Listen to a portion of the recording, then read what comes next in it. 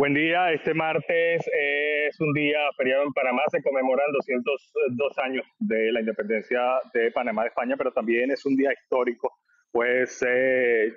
produce este pronunciamiento de parte de la Corte Suprema de Justicia que había estado reunida en sesión permanente desde el pasado viernes y es hasta la mañana de este martes cuando hacen el pronunciamiento sobre el fallo de inconstitucionalidad un eh, fallo que, eh, que, estuvo pendiente la mayoría de la población panameña, incluso un grupo de personas que estaban apostadas a las afueras de la Corte Suprema de Justicia, que luego de conocerse este fallo celebraron la medida. También estaban en lugar eh, los abogados demandantes. La decisión se basó en dos de esas demandas de inconstitucionalidad que se presentaron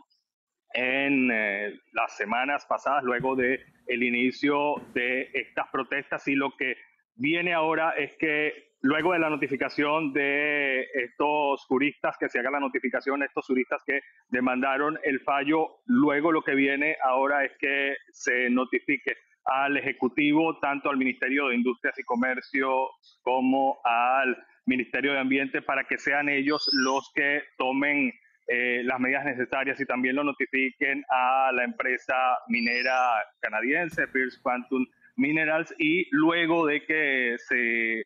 lleve a cabo ese proceso, iniciar, según lo que han dicho los expertos, iniciar un plan de cierre de la mina, la mina a cielo abierto más grande de Centroamérica. Oscar, la prórroga del contrato desencadenó una serie de protestas en el país. ¿Por qué el rechazo y las impugnaciones presentadas en su contra?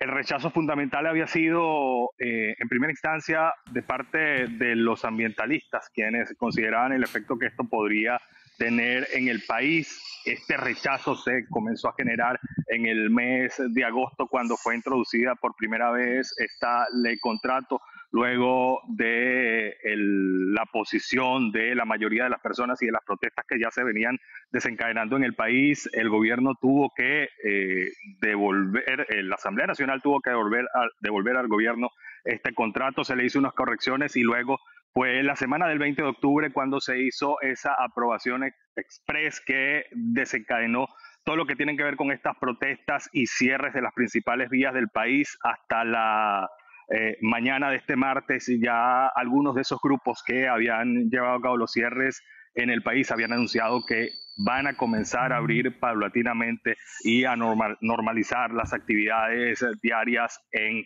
Panamá. Eh, para este martes, eh, como les comentaba, un día feriado en Panamá, está previsto que se lleven a cabo multitudinarias manifestaciones, tanto en la capital panameña como en el resto del país, pero para celebrar el pronunciamiento de inconstitucionalidad de parte de la Corte Suprema de Justicia.